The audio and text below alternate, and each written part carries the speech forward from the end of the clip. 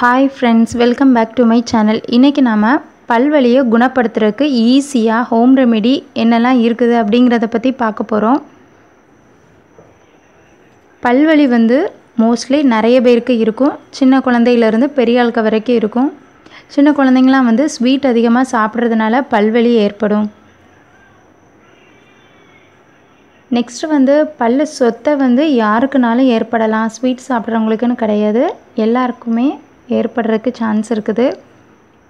இப்போ இந்த பல்வலியை எப்படி நம்ம வீட்டு வைத்தியத்தில் குணப்படுத்தலாம் அப்படிங்கிறத பற்றி பார்க்கலாம். இந்த சேனலுக்கு நீங்கள் இன்னும் சப்ஸ்கிரைப் பண்ணாமல் பார்த்துட்டு இருந்தீங்கன்னா சப்ஸ்கிரைப் பண்ணிடுங்க நிறைய பேருக்கு புளிப்பு இனிப்பு குளிர்ச்சி அப்படி இல்லை அப்படின்னா சூடான ஏதாவது பால் வெந்நீர் சூப் இந்த மாதிரி குடிக்கும்போது பல் கூச்சம் ஏற்படும். அதனால் பல் வலி வீக்கம் இது எல்லாமே இருக்கும். இந்த மாதிரி பல் கூச்சம் இருக்கிறவங்க வந்து திரிபலா சூரணம் அப்படின்னு ஒரு பொடி இருக்குது. இது வந்து நாட்டு மருந்து கடையிலையும் கிடைக்கும். இல்லைன்னா ஆயுர்வேதா சித்தா மெடிக்கல் ஸ்டோர்லேயும் கிடைக்கும். இந்த திரிபலாச்சூரணம் வந்து வேறு ஒன்றுமே கிடையாது. கடுக்காய் நெல்லிக்காய் தாண்டிக்காய் இந்த மூணையுமே வந்து சம அளவில் எடுத்து பவுடர் பண்ணி வச்சுருப்பாங்க. இந்த திரிபலா பவுடரை வந்து பல் தேய்க்கிறதுக்கு யூஸ் பண்ணலாம். இந்த திரிப்பலா பவுடரை டெய்லி காலையிலையும் நைட்டும் ப்ரஷ் பண்ணுறதுக்கு யூஸ் பண்ணலாம். நம்ம யூஸ் பண்ணுற பேஸ்ட்டுக்கு பதிலாக இந்த பவுடரை யூஸ் பண்ணலாம்.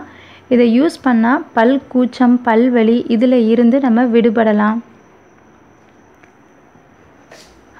அப்படி இல்லை அப்படின்னா இந்த திரிபல சூரணத்தை வந்து வெந்நீரில் நல்லா மிக்ஸ் பண்ணிவிட்டு நம்ம பொறுக்கக்கூடிய சூட்டில் வாயில் ஊற்றி வாய் கொப்பளிக்கணும். இந்த மாதிரி செஞ்சாலும் பல் கூச்சம் வந்து இருக்காது. நெக்ஸ்ட்டு பல் சொத்தை. இந்த சொத்தை பல் ஏற்படுறதுனால நிறைய பேருக்கு பல்லில் வந்து குழி விழுந்திருக்கும். இந்த ஹோல் வந்து சாப்பிடும்போது ஏதாவது ஃபுட் பார்ட்டிக்கல் வந்து உள்ளே போய் சேர்ந்துக்கிட்டு அது வந்து கூச்சமாக இருக்கும். அப்படி இல்லைன்னா வலி வீக்கம் இந்த மாதிரி ப்ராப்ளமும் இருக்கும். இவங்க என்ன பண்ணலாம் அப்படின்னா அந்த சொத்தைப்பல் இருக்கிற அந்த ஓட்டையில் வந்து மஞ்சள் தூளை உள்ளே வச்சிடணும். நல்லா வச்சுட்டு நெக்ஸ்ட் டே காலையில் வந்து அதை நல்லா கழுவிடணும். வெந்நியை வச்சு நல்லா வாய் கொப்பளிச்சிட்டோம் அப்படின்னா அந்த மஞ்சள் எல்லாமே வந்துடும் இப்படி பண்ணுனா பல் ஊனில் ஏற்பட்ட வீக்கம் வலி இது எல்லாமே போயிடும் நெக்ஸ்ட்டு நம்ம பார்க்க போகிற டிப்ஸ் வந்து வேப்பிலையை எடுத்து ஒரு கைப்பிடி வேப்பிலை எடுக்கிறோம் அப்படின்னா அதை நல்லா கழுவிட்டு அது தண்ணியில் போட்டு நல்லா கொதிக்க வைக்கணும். இந்த வேப்பிலை சாறு இறங்குனதுக்கப்புறவு அந்த தண்ணியை வந்து நல்லா ஃபில்டர் பண்ணிவிட்டு டெய்லி நைட்டு தூங்க போகிறதுக்கு முன்னால் வாய் கொப்பளிக்கணும்.